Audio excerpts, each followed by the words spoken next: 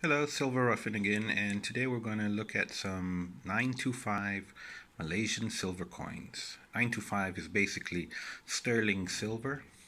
So the first coin we got is a 1976 10 ringgit, and that is a picture of one of Malaysia's um, prime ministers in the past, Tun Abdul Razak. And you can see all the pictures of all the state flags can see the Malaysian flag, which is right here. And then you have all the other state flags around it. This is a non-proof coin. They also have proof coins, but those come in a box. And the other side, it was uh, minted in um, Franklin Mint in America. You can see the 10 ringgit uh, sign there and yeah this is 925 silver. Basically sterling silver. Our next coin is this one.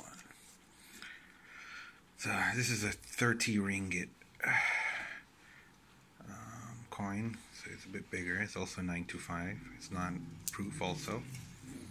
And on the other side we got the 30 ringgit.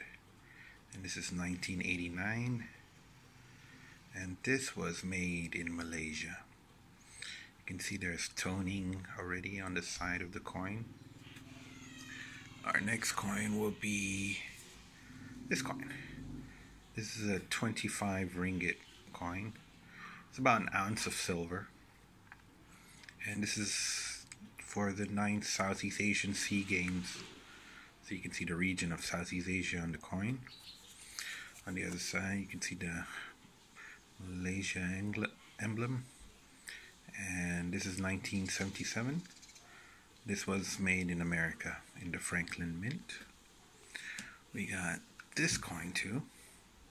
It's 25 ringgit and this is a 1990 coin. And this is um, an anniversary coin silver 925 that's a 25 ringgit and this was made in Malaysia. And we got one more coin here it's uh, 25 ringgit, 1989. You can see some oxidization outside the coin.